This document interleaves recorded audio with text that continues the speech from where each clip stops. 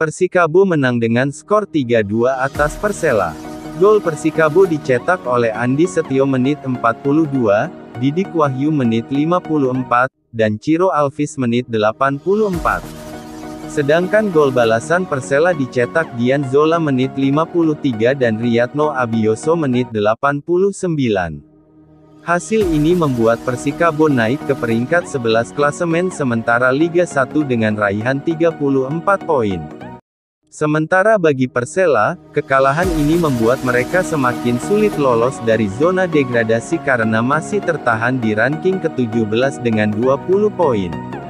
Babak pertama, Persela menebar ancaman ke gawang Persikabo pada menit ke-7. Tembakan jarak jauh yang dilepaskan Malik Rizaldi meluncur cepat menuju gawang. Beruntung, Persikabo memiliki Syahrul Trisna yang tampil sigap di bawah mistar gawang. Syahrul Trisna melompat untuk menggagalkan peluang Persela tersebut. Dalam laga ini, Persela tampil lebih agresif. Mereka memang membutuhkan tambahan poin untuk membuka asa bertahan di Liga 1 musim depan. Jose Wilson yang dipasang sebagai ujung tombak Persela juga memiliki beberapa peluang. Namun belum ada yang membuahkan gol. Malapetaka hampir saja terjadi ke gawang Persikabo ketika Andi Setio membuat kesalahan ketika akan mengirimkan umpan kepada kiper Syahrul Trisna. Bola terlalu pelan sehingga justru dikuasai gelandang Persela, Gian Zola. Namun peluang emas tersebut gagal dimaksimalkan Persela. Sepakan Gian Zola mampu diantisipasi dengan baik oleh Syahrul Trisna sehingga hanya menghasilkan sepak pojok. Skor sama kuat 0-0 belum berubah. Persikabo juga bermain terbuka. Beberapa peluang tercipta melalui skema permainan terbuka maupun melalui situasi set piece. Beberapa menit jelang babak pertama berakhir, Ciro Alvis memberikan ancaman ke gawang Persela. Tembakannya ditangkap dengan sempurna oleh kiper Persela, Dwi Kuswanto. Gol yang ditunggu-tunggu dalam pertandingan ini tercipta pada menit ke-42. Situasi set piece yang didapatkan Persikabo mampu dimaksimalkan untuk menjadi gol. Bermula dari eksekusi Ciro Alvis, bola disambut Dimas Derajat dengan sundulannya. Bola tak mengarah langsung ke gawang, tapi justru menuju Andi Setio yang berdiri di depan gawang Persela.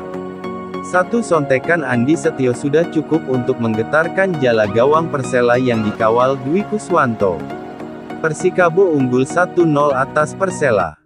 Babak kedua. Babak kedua berlangsung lebih seru. Persela yang ketinggalan satu gol mencoba mencari penyama kedudukan pada awal babak kedua.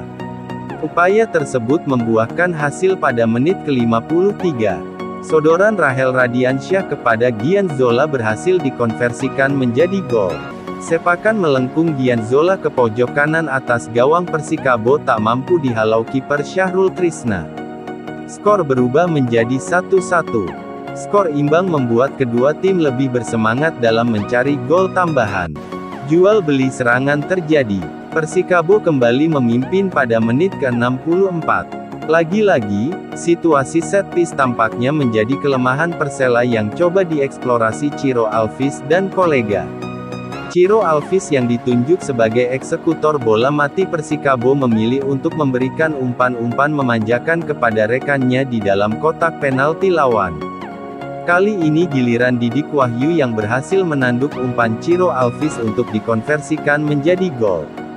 Persikabo unggul 2-1. Pelatih Persela, Ragil Sudirman, merespons situasi di lapangan dengan melakukan beberapa pergantian pemain.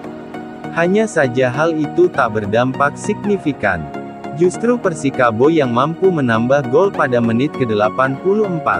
Terobosan Hanis Sagara kepada Ciro Alvis diakhiri dengan sepakan mendatar yang membobol gawang Persela.